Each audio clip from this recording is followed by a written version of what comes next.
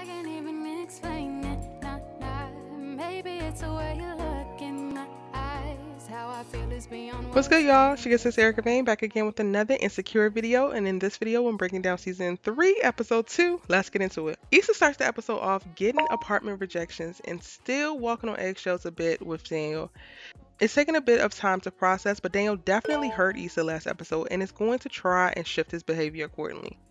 We got y'all is getting a redesign because even though Joanne wasn't feeling Issa in delivering the feedback, she can't hide from the fact that the community she hoped her nonprofit would help is backing away with their hands up because they are displaying toxic ally syndrome.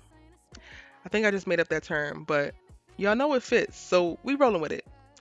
Like Joanne defending the logo because it's her white hand holding up these black kids. Child, moving on. Daniel is in the studio kicking it with his niece and she helps usher in what we learn to be Daniel's big, biggest struggle. He wants to make meaningful music, but to break into the industry, you kind of got to focus on getting hot. Issa in the episode is also in Kelli's office trying to figure out her financial future after she's getting apartment rejections left and right. She has a credit score in the toilet and no savings and barely hanging on at work. Shout out to Kelly to, for pointing out Issa and Daniel's situation and how um she better utilize it to the best of her ability because that comes very rare. She tries to double back to her brother, but nope, it's too late, and ultimately applies for a property manager position at another apartment building. We meet Vanessa and Daniel. Why is you fucking sis again? She is with the no attachment and she ain't really checking for you. And bruh, I feel unseen for you. She was more interested in an overpriced hoodie and light skin love than you making your career moves and better connecting. At lunch with her coworkers, I think Issa has an aha moment where she says that she don't want to be the voice of all black people, and she is met with "it is what it is." It's one thing for her to feel like that and to think that they don't know it at work, but for them to know and then lean on that and lean on her in this way, and Joanne ain't even respecting her, her experience, perspective, and insight into her culture it's kind of like why am I here? Aside from the fact that Issa ain't got nowhere to go, like she ain't got a pot to piss in or a window to throw it out of, this could be the beginning of the end for Issa at We Got Y'all. Her suggesting Joanne hire more people of color is important, but also could be subconsciously her hedging her bets and plotting her escape.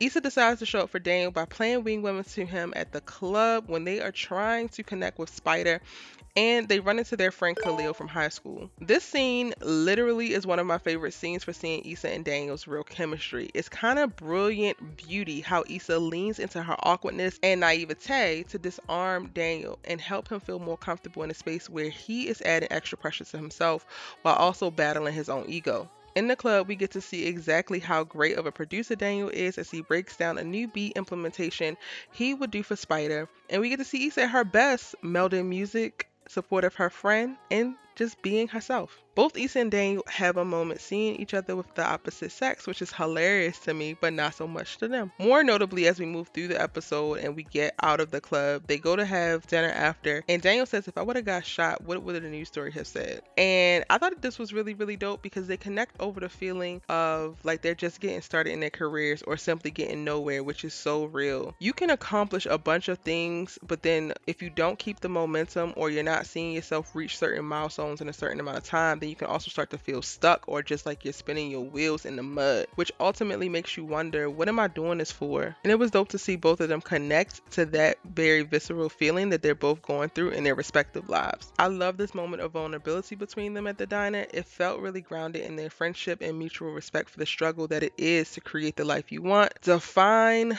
let alone find success, build meaningful connections, and somehow amongst it all, actually be happy. Now, by the end of the episode, they are blurring the friend lover line again with the vibes. But listen, they have had a few true friend moments in this episode.